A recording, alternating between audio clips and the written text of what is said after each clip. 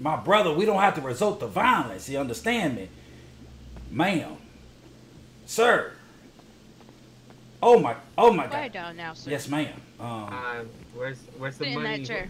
Where's the money for the church? the money the money the, the money from the church. My brother, I work off the streets. Mm-hmm. I don't owe no brick and mortar. You understand me? No, no. We know you collect every session. Ma'am, ma'am, ma'am. Every church session. Ma'am, ma'am, I promise you. I swear.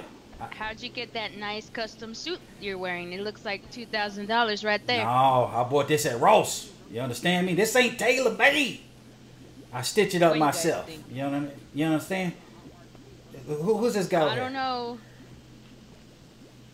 Hey, ma'am. Hey, just, just come here, come here. I'll let you. We can do that. Hey,